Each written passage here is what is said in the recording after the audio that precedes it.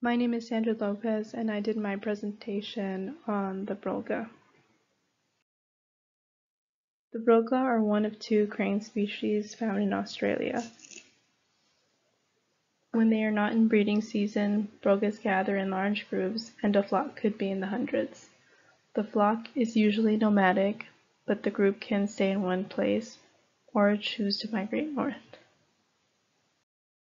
However, during breeding season, Brolgas will seek out their partners. They are monogamous, and their courtship displays are complex.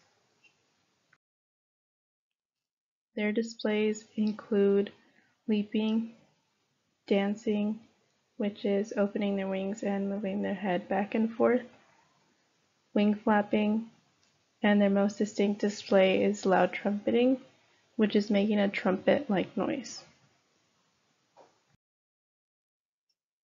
When they find a partner and begin building their nest, they build it in a waterway or swamp. Their nest is made up of vegetation and it does look like a small island. They take turns providing for the eggs, which includes defending the territory that the nest is on.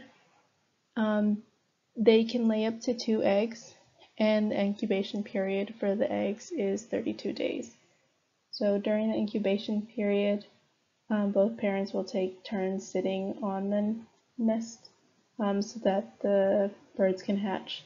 Also, when the nestlings do hatch, they will take turns providing for the nestlings, which includes finding food and defending them. So they both take an equal role in protecting and taking care of their offspring.